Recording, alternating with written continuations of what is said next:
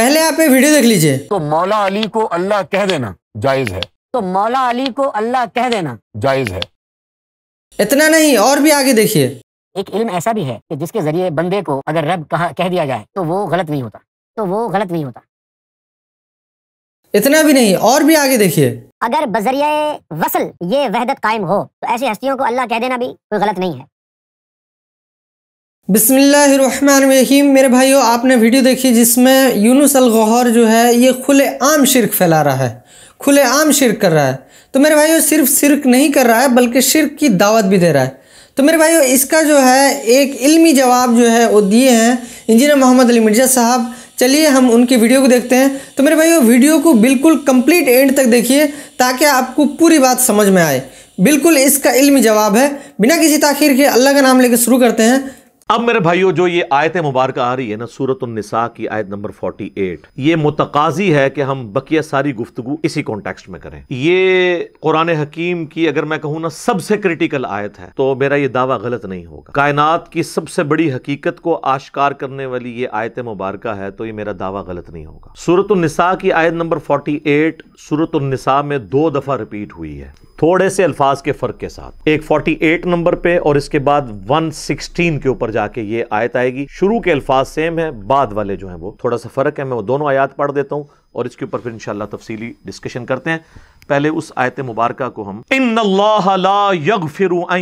का भी बेशक अल्लाह इस गुनाह को तो कभी मुआफ नहीं करेगा कि कोई शख्स इस हाल में अल्लाह के हजूर क्यामत के दिन पेश हुआ कि वो दुनिया में शिरक करता हुआ, दुनिया में मुआफ कर देगा अगर किसी ने माफ़ी मान ली। आखिरत की बात हो रही है। वह यग फिर मादून शाह इसके अलावा जितने भी गुनाह है, जिसके लिए चाहेगा मुआफ कर देगा। वो भी ओपन लाइसेंस नहीं है। जिसके लिए चाहेगा मुआफ कर देगा, लेकिन उम्मीद है कि वो काबिल मुआफी है लेकिन शिरक ऐसा गुनाह है जो अल्लाह भी मुआफ नहीं करेगा। अब कोई कह के जी, अल्लाह की ये कुदरत की नफी नहीं हो जाती। इन अला कुल्ली शहीन कदीर है। तो अल्लाह ये क्यों कह रहा है कि मैं शिरक भी मुआफ नहीं करूँगा? अल्लाह तो शिरक मुआफ कर सकता है। हम ये जुमला भी नहीं बोलेंगे कि कर सकता है। इसलिए ला तब्दील अली कलिमात जो अल्लाह की वईदे हैं ना, वो अल्लाह के फैसले हैं। ये बहुत सख्त मामला है। अल्लाह के कलिमात कलिमात नहीं बदलते। तो अल्लाह ताला ने ये अपनी डेस्टनी में चीज़ मुकर कर दी है कि मैंने मुशरक को किसी सूरत भी बख्शना नहीं है, उसके लिए जन्नत नहीं है। हाँ इसके अलावा कोई गुनाह है वो जिसके लिए चाहेगा मुआफ़ कर देगा और वो भी ओपन लाइसेंस नहीं है। और उसमें मैं आपको एक गुनाह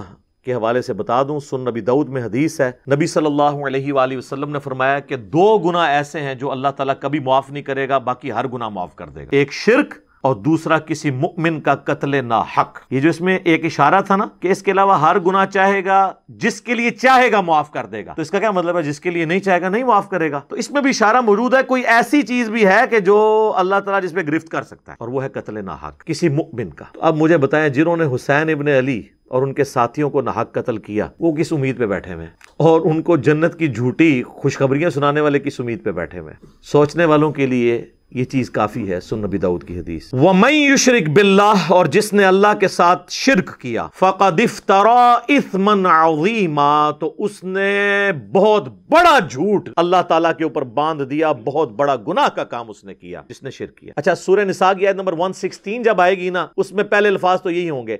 इन यकफिर युशर कभी व यकफिर अगले अल्फाज हैं वह मई युशरक बिल्ला फ़कद बईदा। जो कोई अल्लाह के साथ शिरक करे, वो गुमराह हुआ और गुमराही में दूर जा पड़ा। अल्लाहुम्मा मिनहुम। अल्लाहुम्मा मन अहयैतहु मिन्ना फ़अहयिही अलल इस्लाम। फ़तवफ़हु अलल ईमान। आमीन। रदी तो बिल्लाम दीन महमद नबिया सल्लल्लाहु अलैहि आमीन अब ये मेरे भाइयों ऐसा टॉपिक है कि मैं इस पे अगर कम से कम दो घंटे बोलूँ ना तो तब मेरी तसली होगी और कुरान में तो बहुत सख्त बात आई है सूरह अलमायदा की आयत नंबर 17 में लक़द कफर अल्लदीन कालू इन मसीह मरियम बेशक वो लोग कुफर कर रहे हैं जो ये कह रहे हैं कि ईसा इबन मरियम ही अल्लाह हैं। उसके बाद कितने सख्त अल्फाज हैं। तो मेरे भाइयों, आपने वीडियो देखा जिसमें अली भाई ने एक आयत कोट रहे, कोट कर रहे हैं, जिसमें अल्लाह सुबहान तआला ये इरशाद फरमाता है, बेशक वो लोग काफिर हैं, जो कहते हैं कि ईसा इबन मरियम ही अल्लाह है। तो मेरे भाइयों, अगर ईसा इब्न मरियम अलैहिस्सलाम जो है, उनको अल्लाह सुबहाना ताला ये फरमा रहा है कि वो लोग काफिर हैं, जो कहते हैं कि ईसा इब्न मरियम ही अल्लाह है। तो मेरे भाइयों, अगर ईसाई जो है ईसा अपने मरियम को अल्लाह कह के काफिर हो सकते हैं तो ये यूनुस अल गौहर कौन है? ये कौन खेत का मूली है?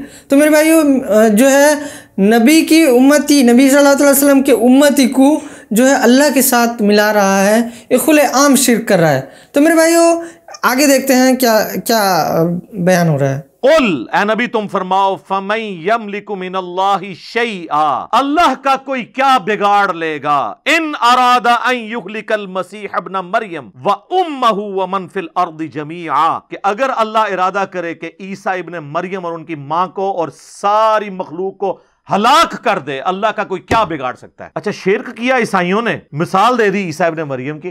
तौहीद के लिए। लिहाजा बाबों की मिसाल आएगी, सर। ईसा से बड़ा तो कोई बाबा नहीं है।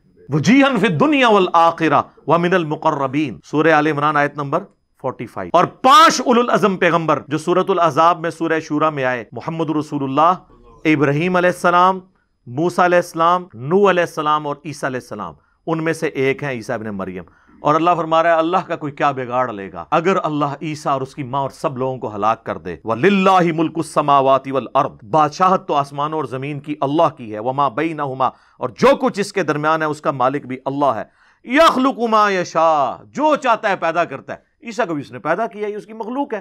दैट्स ऑल जिस तरह और मखलूकत है। वल्लाहु अला कुल्ली शैइन कदीर, और अल्लाह ताला हर चीज़ के ऊपर कादिर है। सर, किस लेवल पे जाके आपको अल्लाह समझाए? किस लेवल के ऊपर जाके? तोहीद का मामला बहुत सेंसिटिव है। मैं अक्सर एक जुमला बोलता हूँ शिरक is the most sensitive issue in the sight of Allah अल्लाह के हुजूर शिरक से ज़्यादा कोई हसास मामला नहीं है। इसलिए तो ये आयत आई है कि अल्लाह ने हर गुना माफ़ कर देना, लेकिन ये माफ़ नहीं करना। लेकिन सर, एक खुशखबरी भी है। सूरतुल फुरकान की आयत नंबर सत्तर में आया कि अगर कोई शिरक से दुनिया की ज़िंदगी में तोबा कर ले हम उसके गुनाहों को भी नेकियों से बदल देंगे।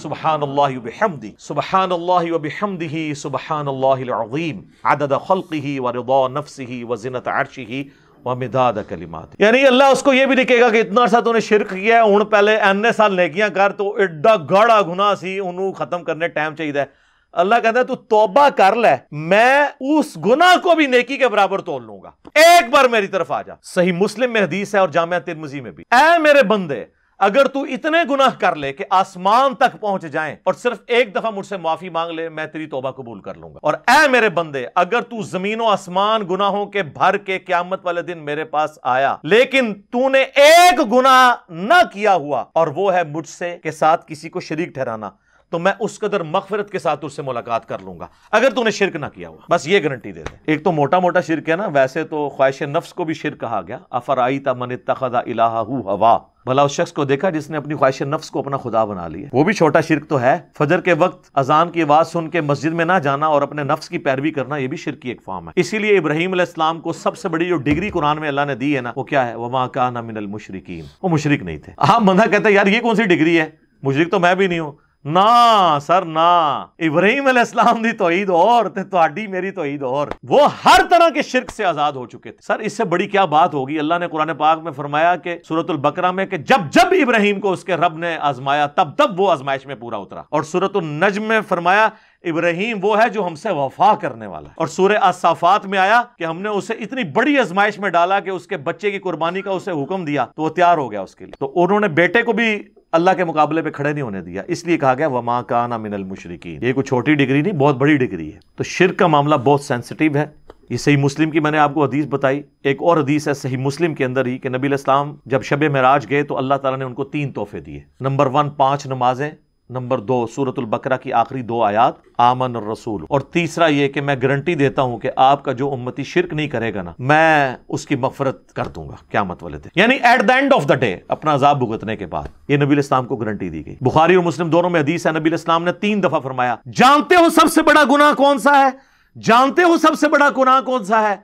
जानते हो सबसे बड़ा गुना कौन सा है? साहब ने कहा यारसुल्ला अल्लाह और उसका रसूल बेहतर जानते हैं। आप फरमाया, क्या मैं तुम्हें बता ना दूँ? तुम्हें बता ना दूँ? बता ना दूँ? कहा यारसुल्ला बताएँ। फरमाया, अल्लाह के साथ शिरक करना। और एक और हदीस है बुखारी और मुस्लिम की, उसमें भी यही अल्फाज हैं, लेकिन उसमें अल्फाज हैं कि तुम अल्लाह के साथ शिरक करते हो, हालाँकि उसने तुम्हें पैदा किया है। पैदा करने वाला और पैदा हुआ हुआ बराबर नहीं हो सकते। सर, अल्लाह ही है जो पैदा करने वाला है, बाकी सब पैदा हुए हैं। तो वो अल्लाह के मुकाबले पे कैसे आ सकते हैं? नेवर कभी नहीं आ सकता। तो मेरे भाई, ये वीडियो देखिए आपने, जिसमें अली भाई ने बिल्कुल ब्रीफली एक्सप्लेन किए कि जो है, सिर्क जो है, कितना डेंजर मामला है। तो मेरे भाइयों कितना बड़ा अल्लाह ताला ने वईद भेजी है सिर्क के मामले में। तो मेरे भाइयों अगर अल्लाह सुबहान ताला ये बताता है कि जो कहते हैं कि ईसा अपने मरियम ही अल्लाह हैं, वो काफिर है। तो मेरे भाइयों ये जो कहता है कि मौला अली को अल्लाह कहना जायज़ है तो ये उससे बड़ा काफिर है। क्योंकि वो तो पैगंबर थे, ईसाइयों से, ईसाई, ईसा सलाम तो पैगंबर थे। तो यहाँ पे ये जो है, अल्लाह के बंदे को, अल्लाह के बंदे को अल्लाह के साथ मिला रहा है, बल्कि अल्लाह कह रहा है। तो मेरे भाई ये बिल्कुल खुले आम शिरक कह रहा है, बल्कि शिरक फैला रहा है। तो मेरे भाइयों, अल्लाह सुबहाना ताला से दुआ है, जो बात मैंने हक कही, उसको सुनकर अमल करने की तोफ़ी अदा फरमाए। जो बात गलती से, जज्बात में जवान से निकल गई, अल्लाह ताला उसको हमारे दिलों से माफ़ कर दे, हमको कुरान सुनत पर अमल करने की तोफ़ी अदा फरमाए। तो मेरे भाई अगर आपको वीडियो अच्छी लगी तो लाइक और शेयर ज़रूर कीजिए, और हमारे चैनल को सब्सक्राइब ज़रूर कीजिए। सुबहान और रबिक रब्बिल इज़्ज़त अम्मा यसिफून वसलाम अलहमदिल्ला रब्बिल आलमीन, आमीन या रब्बिल आलमीन।